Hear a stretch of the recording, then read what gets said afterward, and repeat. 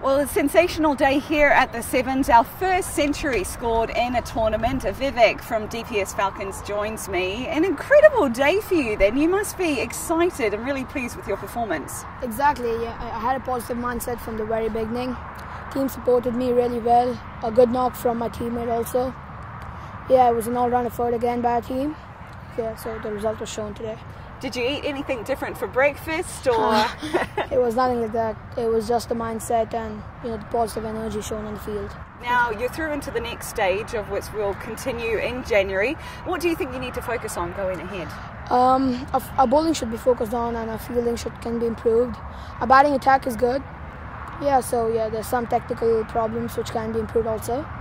So yeah. Do you think we'll see another century out of you? Definitely. yeah, I hope so.